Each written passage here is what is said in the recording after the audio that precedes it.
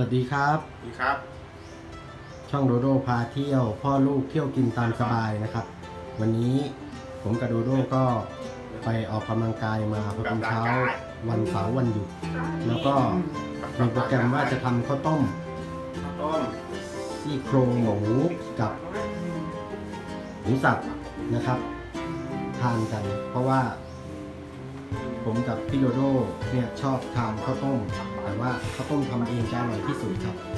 เนี่ยครับพี่โดโดก็ยังยังไม่ได้อาบน้ำเข้าไปออกกำลังกายยังแบบแบบร่างกายเหงื่อยังเปียกตัวอเรียยู่บเลยตัวนะครับวันนี้ผมมีอะไรบ้างนะครับ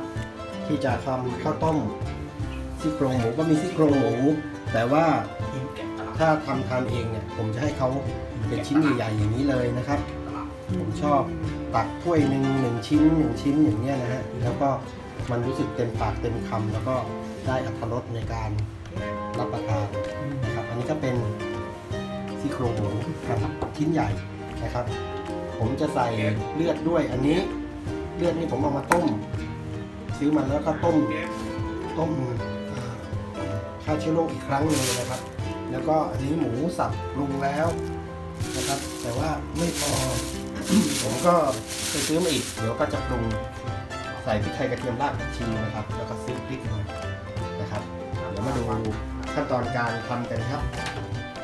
ครับซี่โครงหมูผมก็นำมาล้างนะครับ ล้างน้ำเปล่าทิ้งก่อน เสร็จแล้วผมก็จะเคล้าเกลือนะครับวัดจะเคล้าเกลือ รอบหนึ่งเพื่อเอากลิ่นคาวกลิ่นอะไร นะครับเกลือก็ฆ่าเชื้อโรคได้โรคติดให้พ่อต้องเก็บข้อเอาปิดเอาปิดฝาเอามาไว้ตรงนี้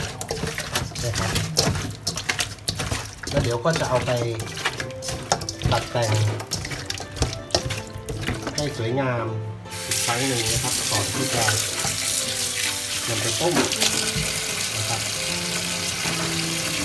ครับตอนนี้ก็ล้างหมูเรียบร้อยตัดแต่งอะไรเรียบร้อยแล้วนะครับผมก็จะใช้หม้อนี้อ่า น้ำปริมาณน้ำอ่าตามที่เคยทำนะครับใช้กากปริมาณเนี่ยผมจะใส่ลงไปแล้วก็เอาไปตั้งไฟอ่อนๆทั้งอย่างนี้เลยนะครับ เพราะว่าเอ่อแม่สอนตั้งแต่เด็กๆว่าถ้าจะต้มน้ำกระดูกหมูอะไรเนี่ยนะครับโดโดแบลขวดเกลือมาให้เกลือมาก็เอ่อให้ตั้งไปอย่างเงี้ยนะครับ แล้วก็ให้น้ำค่อยๆร้อนขึ้น มันก็จะทำให้ความหวานของกระดูกก็จะออกมานะครับ ผู้หลักผู้ใหญ่คนโบราณเขาเคยสอนไว้ครับ แต่ก็ทำอย่างนี้ทุกทีก็อร่อยนะครับ ผมใส่เกลือไปหน่อยไปหน่อยนึงนะครับเนี่ยครับแล้วเดี๋ยวก็จะเอาไปตั้งไฟ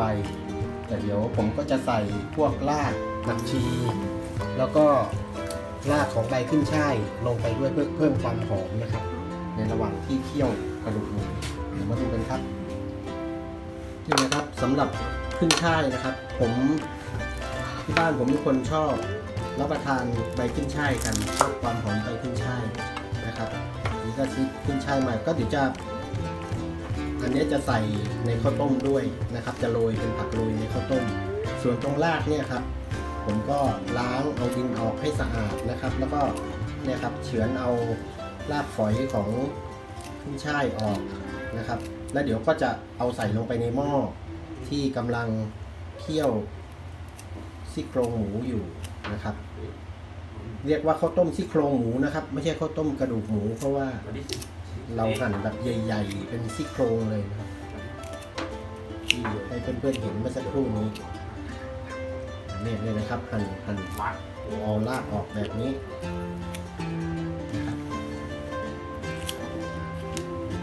แล้วก็ใส่ลงไปในหม้อที่เรากำลังต้ม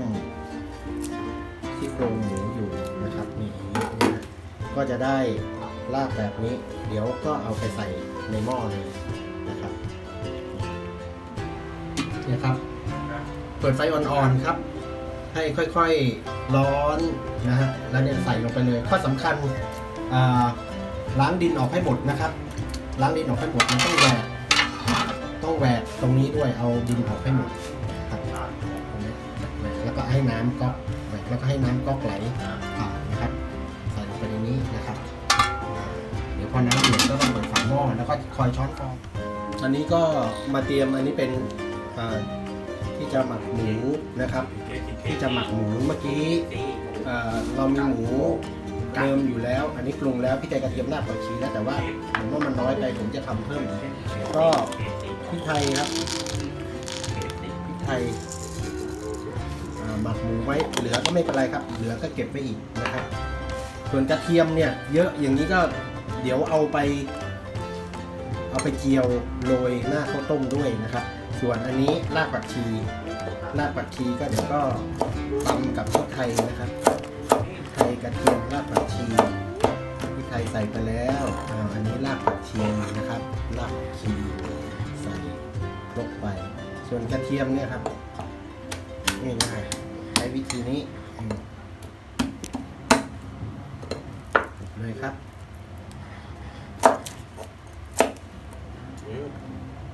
อึ๊บแล้วก็เอาเปลือกออก ถ้าเพื่อนๆใช้เม็ดเล็ก ๆ ก็ไม่ต้องเอาเปลือกออกก็ได้นะครับ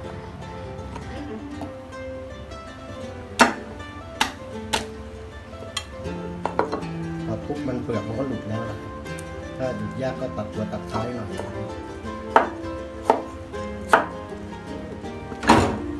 นะครับเดี๋ยวมาดูกัน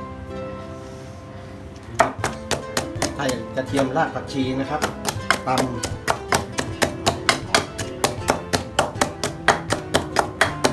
ตำผมไม่ชอบแหลกมากครับ เวลาทานแล้วเนี่ยก็จะได้ รู้สึกว่ามันเคี้ยวหมูแล้วมันไปถูกพริกไทยถูกกระเทียมรากผักชีอะไรเงี้ยก็ก็เลยไม่แหลกมากเป็นลักษณะนี้เอาหมูหมูเช็ดก้นครกหน่อยเอหมูไปเช็ดก้นครกเสียดายครับอันนี้ลงด้วยซีอิ๊วขาวคิ้วขาว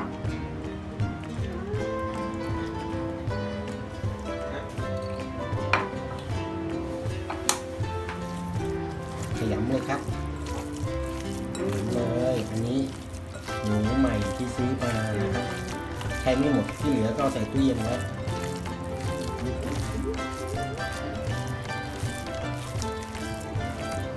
เดี๋ยวนี่ของเก่า ผมลงไปนะครับขยำรวมกันผมลงไปอาจจะใช้ไม่หมดก็หมักทิ้งไว้อย่างนี้นะครับ เข้าตู้เย็นไว้แล้วก็จะทำแกงจืด อะไรก็เอามาปั้นเป็นแกงจืด ได้รวดเร็วตอนเช้าเช้าๆหรือตอนไหนที่มื้อที่เร่งรีบนะครับ ซื้อเต้าหู้หลอดมานะครับหรือมีผักตำลึงอะไรเนี่ยแบบนี้แหละสูตรนี้แหละครับลงไปเลยครับนี่หมักอันนี้หมักหมูไว้สักครู่หนึงครับ ระหว่างรอเอ่อหม้อที่เคี่ยวซี่โครงเขา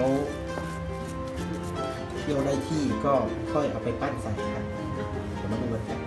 อ่าพี่โดโน่ตำกระเทียมนะครับอ่าเดี๋ยวตำกระเทียมเดี๋ยวเอามาเจียวให้พี่โดโน่ช่วยตำกระเทียมเดี๋ยวกระเทียมอันนี้มาตำแหลกแล้วก็จะเอาไปเจียวในอ่าไว้โรยหน้าข้าวต้มนะครับแล้วตำอ่าตำอ่าตำให้แหลกตำ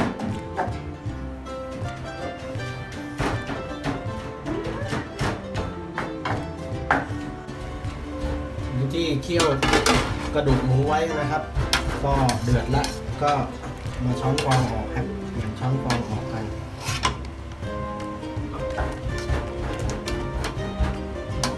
เดี๋ยวอีกสักระยะหนึ่งนะครับ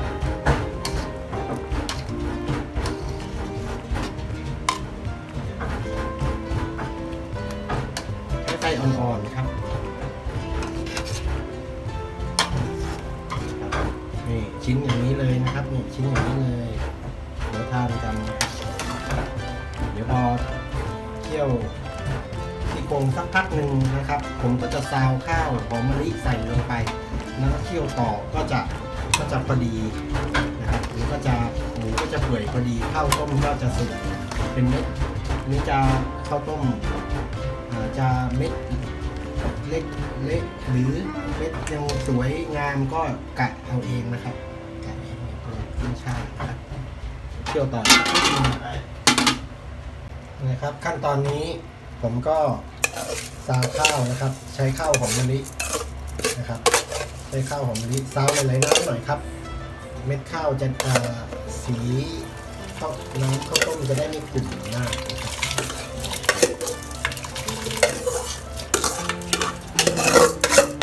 ต่อไปแล้วก็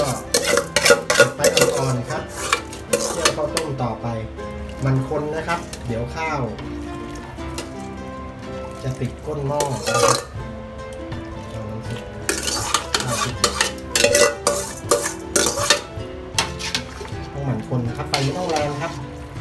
เย็นๆ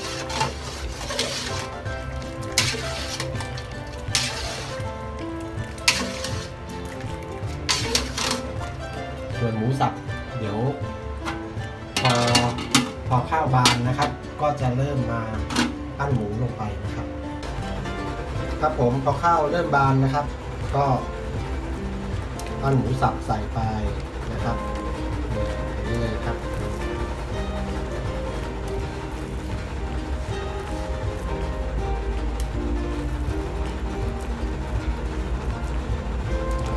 เองลูกใหญ่ๆไปเลยครับ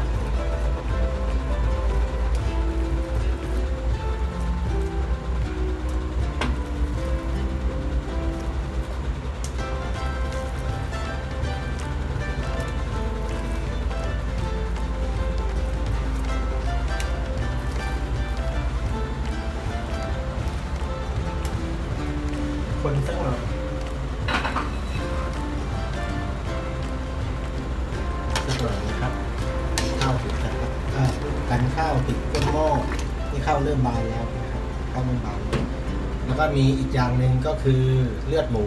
นะครับเลือดหมูใส่ลงไปเลยนะครับ ใส่ลงไปเลย ไฟอ่อนๆเหมือนเดิมนะครับ ไม่ต้องรีบร้อนแบบนี้เดี๋ยวเราปล่อยเดือดอีกสักพักหนึ่งดูเม็ดข้าวว่าเละข้าวเละหรือข้าวเป็นเม็ดชอบแบบไหนก็มาขึ้นได้เลยตอนนั้นครับ รื่องปรุงเรื่องอะไรไม่ต้องปรุงมากครับ เดี๋ยวไปปรุงข้างนอกเดี๋ยวนะครับ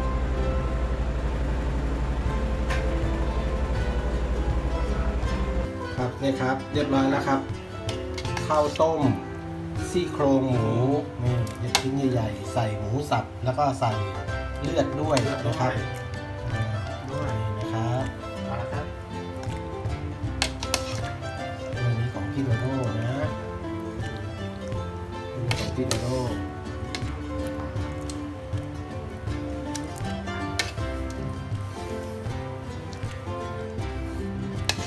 พี่โดเลือกไหมเลือกเลยนะ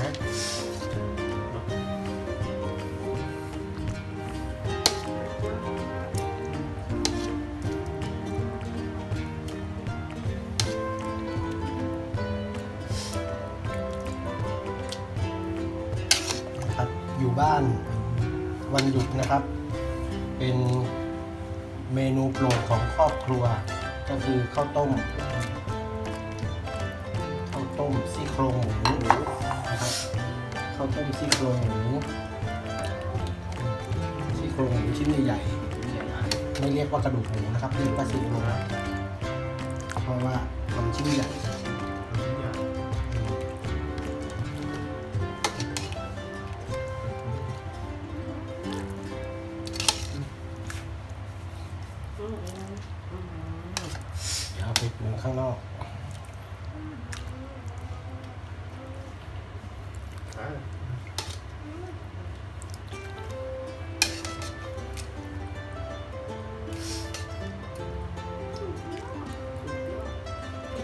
ยอดไหมสุดยอด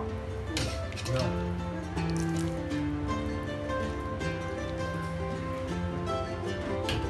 นะครับเดี๋ยวไปปรุงข้างนอกกันมาสองถ้วยนี่นะครับมาบนโต๊ะเราก็เอาเครื่องปรุงมาปรุงกันบนโต๊ะเลยนะครับนี่ผมมีกระเทียมเจียวนะครับกระเทียมเจียว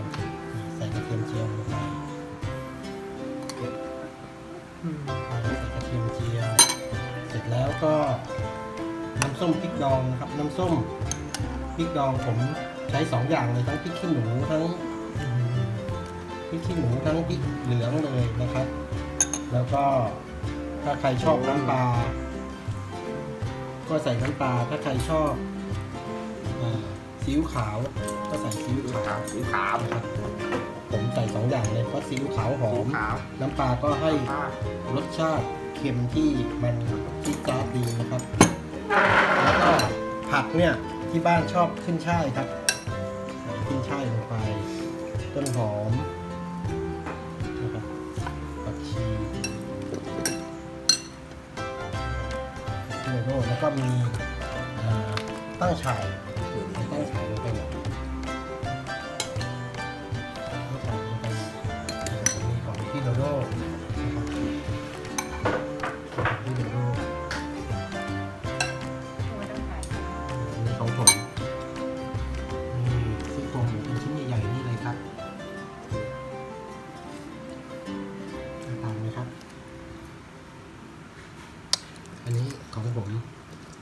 ปื่อยได้ที่เลยครับ